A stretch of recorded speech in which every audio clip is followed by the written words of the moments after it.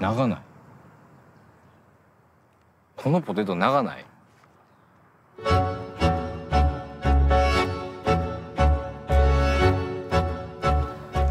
お前はええな。ん？大学行けへんねやろ？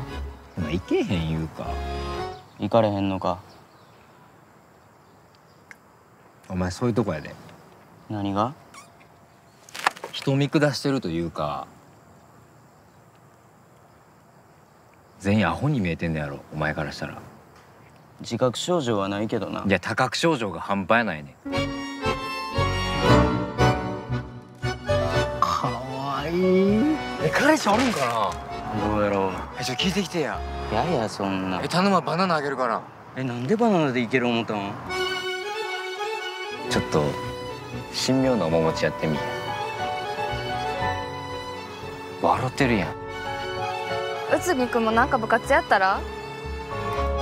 な橋村さんをメロメロにする方法を教えてくれや。たまに私と一緒に過ごしてみようとか思えへんわけ？まさか。柏村さんのどこがええの？空気読んで内海この川で暇を潰すだけの青春があってもええんちゃうんか？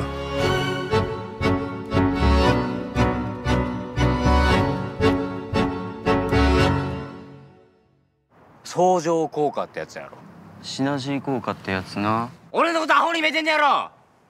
なんでまた神妙な面持ちやねん。もう一回できるかなと思って